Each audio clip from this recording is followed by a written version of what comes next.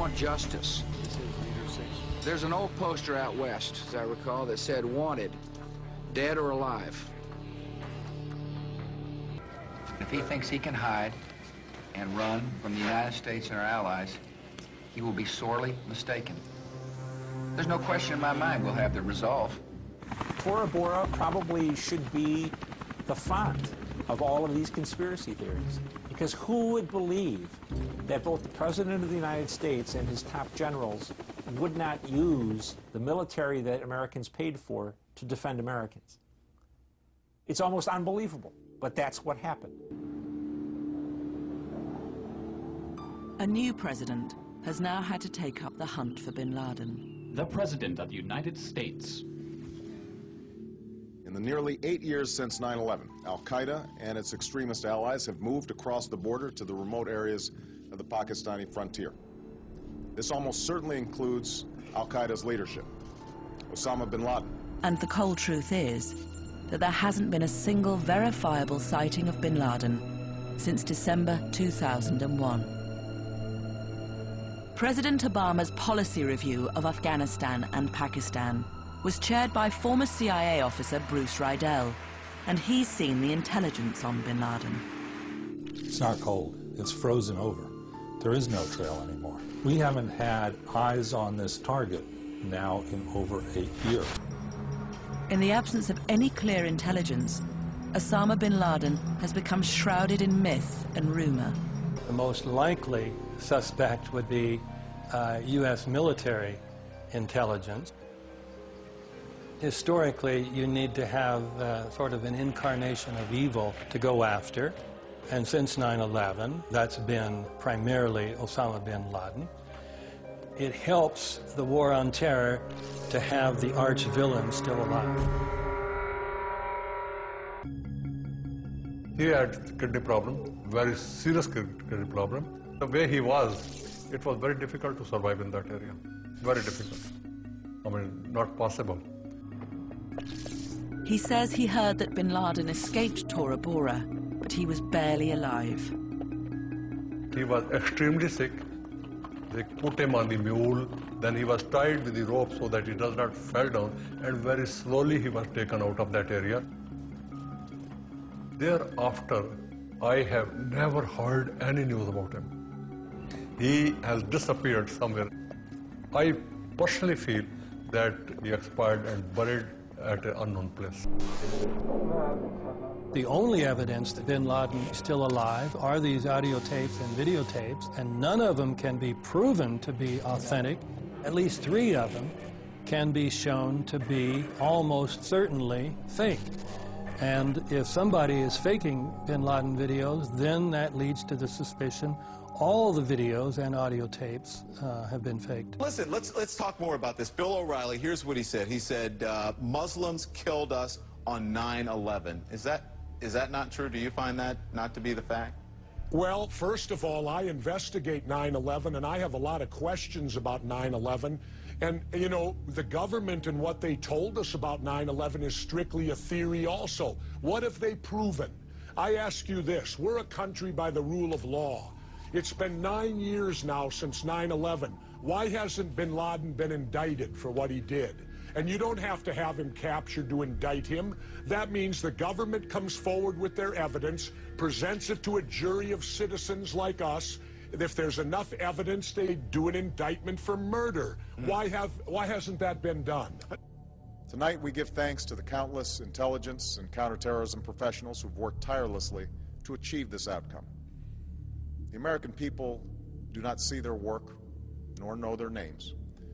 But tonight they feel the satisfaction of their work and the result of their pursuit of justice.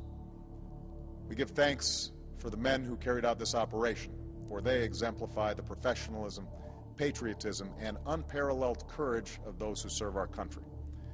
And they are part of a generation that has borne the heaviest share of the burden since that September day. Yet today's achievement is a testament to the greatness of our country and the determination of the American people that we do whatever it takes. The cause of securing our country is not complete, but Tonight, we are once again reminded that America can do whatever we set our mind to. That is the story of our history. Whether it's the pursuit of prosperity for our people or the struggle for equality for all our citizens, our commitment to stand up for our values abroad, and our sacrifices to make the world a safer place. Let us remember that we can do these things not just because of wealth or power, but because of who we are. One nation, under God, indivisible, with liberty and justice for all. Since we've been down here, hundreds and hundreds of people have been coming down to Ground Zero. I want to see if you can see what, what's happening here. People just sort of coming down here, they're bringing flags, they're singing God Bless America. People start singing, then all of a sudden they start breaking out, they start cheering. I want to bring in some of the people who've come down here for, for various reasons. Um, You've come down here. What, what what made you come down? I'm sure you heard the news. Tell me what you're feeling at this moment. Um, just pride, great pride in my country and, and happiness and, and sorrow and, and revisiting emotions from 9-11 generally. Atmosphere, the V sign for victory being displayed uh, in uh, East Jerusalem today among jubilant Palestinians uh, that the United States had been subject to this attack. What are we to make of that, Jennifer? Um, are we to, uh, Yasser Arafat may issue this condemnation. Look at this. We're seeing uh, people applauding, clapping, smiling, uh, happy to, to know that thousands of Americans have died in this sneak attack. Well, obviously, you came down, heard about the news.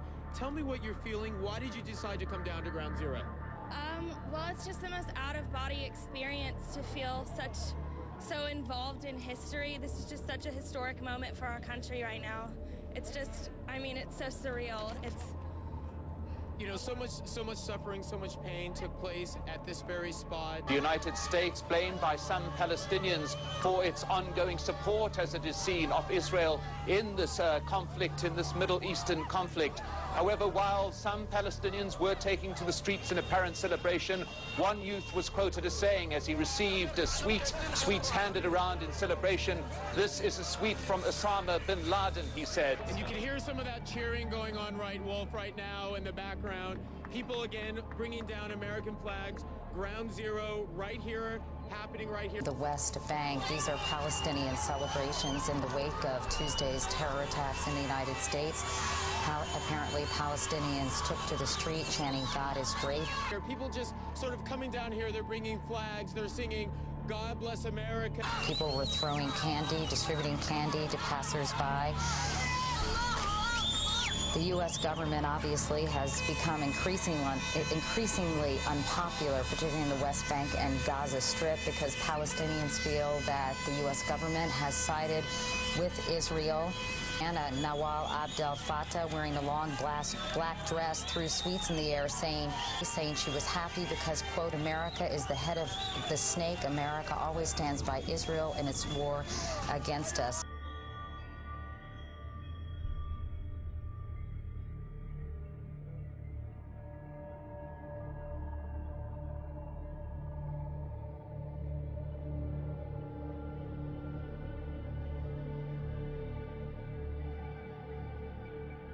Long live Israel.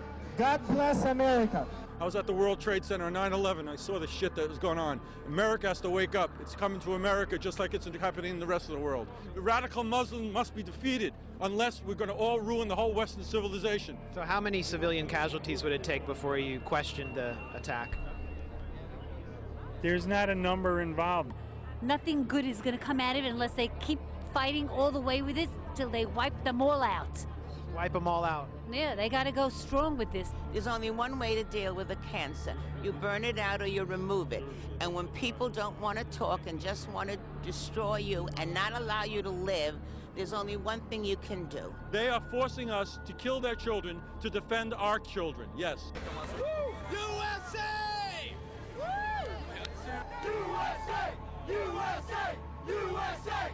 USA! USA! USA! USA! USA! USA! USA! We do whatever it takes, whatever it takes, whatever it takes, whatever it takes, whatever it takes, whatever it takes.